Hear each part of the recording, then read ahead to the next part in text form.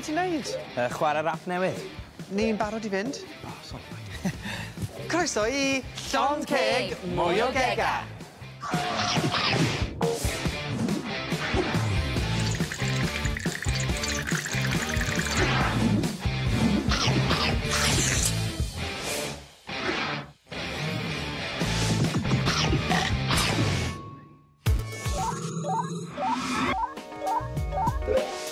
Connor, Geraint yma. Hi, Ger. Os modd y fi alw heibio i ddysgu bach am dechnoleg? Ie, yeah, dim problem. mae Digonydd dyn ni dangos chi lawr fan hyn. A gallu dod draw unrhyw amser. Oce, okay, wel adi mewn bach. Ie, yeah, dim problem. Gwelwch chi wedyn.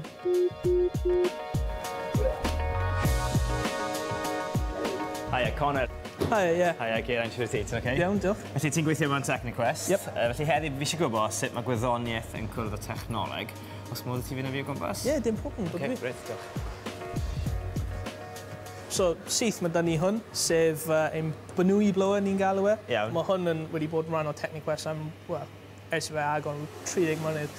Fi'n fi cofio hwn nes o'n i'n blentyn yn ysgol gynradd, felly um, pam bod hwn mor bwysig, pam bod hwn yma, be mae fe'n dangos? So mae hwn yn dangos be ni'n galw uh, bynwy effect. A, so mae fan fyna yn chwythu air allan, mae'n bwrw y pêl, a mae'r air wedyn mynd dros y top ac o dan, Mae'r air dros y top yn mynd yn mwy gyflym na'r air o dan, sy'n creu gwahaniaeth mewn gwasgydd, sy'n achosi bel hedfan. A sut mae hwn yn effeithio ni o ddydd i ddydd te? So, uh, awyronau, mae nhw yn hedfan oherwydd uh, y bynwy effect yma. Oce, okay, cool. Wel, nawn ni hedfan draw i'r stondin nesaf te? Ie, yeah, come on. Yeah, fi'n mynd i hedfan beth bynnag. Um, okay, so mae dyn ni hwn, sef um, hydrogen car, a mae hwn yn redig ar hydrogen. So dim petrol, dim diesel, uh, gyd sydd mewn fe yw hydrogen. Mae fe'n creu trodan ac uh, well, electric car yw fe. Felly petrol a diesel, mae hwnna'n rhedeg allan yn dywe. Felly um, fydd hydrogen yn rhedeg allan? Ie, uh, yeah, yn y pen draw, um, ond y peth yw mae mwy o hydrogen yn y byd neu bydysawd hyd yn oed na bron o bod unrhyw beth arall. So, bydd yn dod i ben, ond bydd pobl wedi dod i ben lot, lot Uh, cyn. Cyn hwnna, ie. yeah. Y cwestiwn nesaf, fi'n credu bod ti'n gwybod beth yw'r cwestiwn nesaf. Um, Alla fi ni eistedd yn y car? Ie, yeah, gwon. Go iawn? Ie, yeah, ie, yeah, gwon. Okay. Fi fel plentyn bach yn dyfu, hwnna fe. Joio ochr y drysau. Nes i'n sylweddoli ar y drysau. o, hwnna dda. Reit. Sa'n nhw'n drwm, nhw'n ysgafn hefyd sy'n gret. OK. Aha! Nawr de. Wedodd mam wrth fi unwaith i byth, byth, byth cyffwr y bwtwm coch.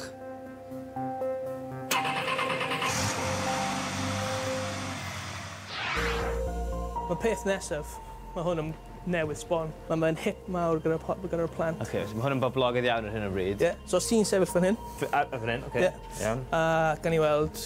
Hei! Dyma fi! Uh, Di'n gofod, Tim Peak. ar, ar i ore. Os i'n cymryd eich uh, llaw dde yeah. a wneud e, fist bath fel yna, a chi'n gallu newid. Oh. Pob, pob tro ti'n neud hwnna, bydd e'n creu Oce, okay, fe fi nawr, fi'n gweithio mewn zoo, ydw? Oce.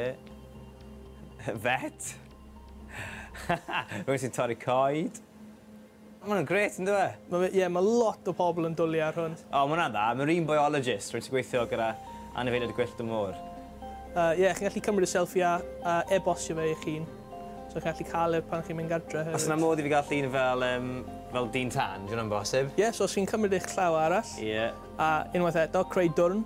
Chi'n gallu cymryd selfie o chi'n. Ah, okay. A wedyn e-bosio fe. Oce, okay. off na chi, a nawr mae fe lawr fyna, a chi'n gallu safio fe. A... Ac e-bostio fe yeah. i chi chi'n wedyn. A mae hwn yn enghraifft gret yn dweud o technoleg sy'n creu hwyl i ni. Ie. Yeah. Be sy'n gyda ni nesaf? Wel, draw yn ynta.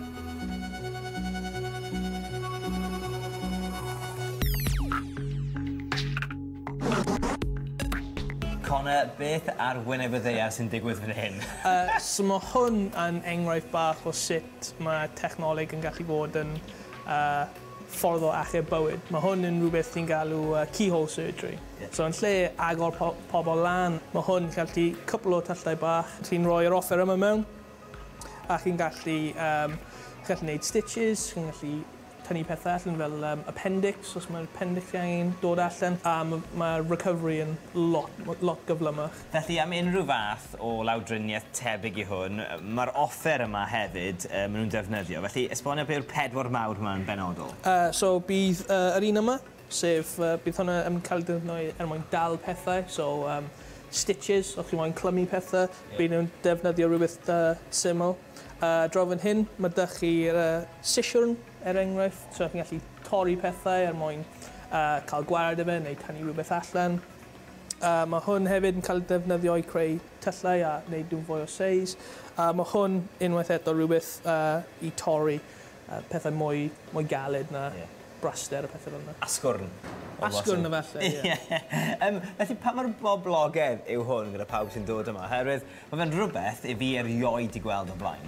Uh, Wel, mae'n rhywbeth sy'n eitha diddorol, ond mae lot o pobl uh, yn gallu bod bach yn, uh, bach yn squeamish. Yeah. So maen nhw, nhw yn ygolio fe, a maen nhw, mae diddorol ynddyn nhw, ond mae'n bach yn... Ugh.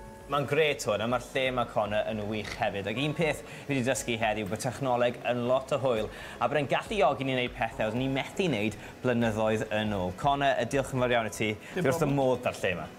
Croeso.